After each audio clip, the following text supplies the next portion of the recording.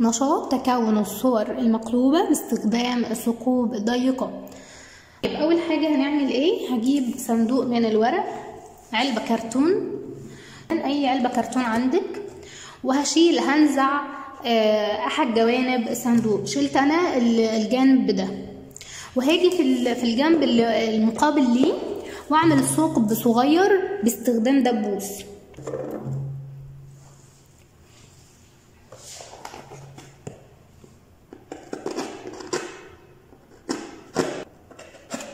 تمام؟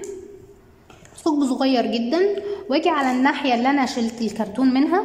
اغطيه بمادة نصف شفافة. هستخدم منديل مادة نصف شفافة وهثبتها هنا على الجنب اللي أنا شلت منه الكرتونة هثبته.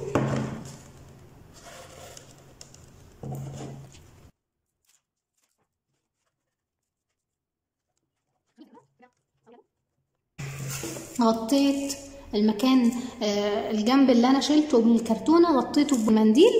ممكن تستخدمي ورق الزبدة اللي بتستخدميه في بتشوفي بيه الخرايط بعدين هجيب شمعة هولعها.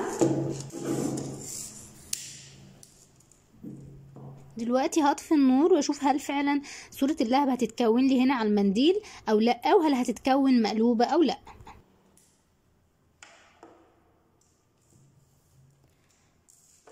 خلينا نلاحظ لهب الشمعة بيكون عامل إزاي؟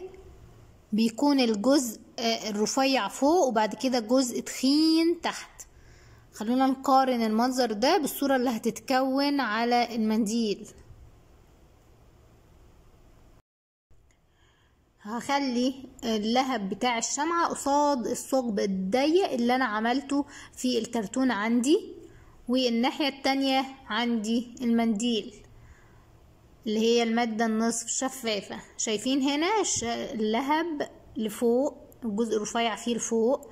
هنا دي الصورة المتكونة لي على المنديل. خلونا نركز. الجزء الرفيع منها هو اللي لتحت وطبعا حجمها أصغر من الحجم بتاع لهب الشمعة الحقيقي. إذا الصورة المتكونة كانت مقلوبة ومصغرة. النشاط بتاع بتاعنا ده اللي هو تكون الصور المقلوبة خلال الثقوب الضيقة كان الخطوة الأولى آه اللي بدأ بيها عمل الكاميرا.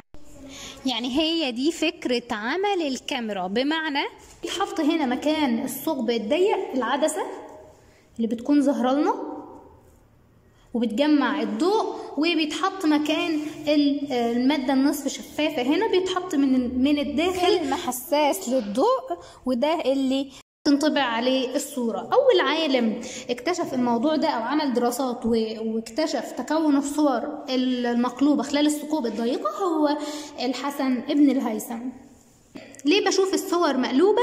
لأن أشعة الضوء بتاعتي بتتقاطع هنا عند الثقب فبتعطيني الصورة مقلوبة ليه الثقب بيكون ضيق؟ لأن لو هو كبر الصورة اللي هتتكون لي هنا على الحجاب هتكون باهتة. يلا كل اللي فهم النشاط يحل السؤال ده في التعليقات. الصورة المتكونة خلال الثقوب الضيقة تكون نقط ونقط. مع السلامة.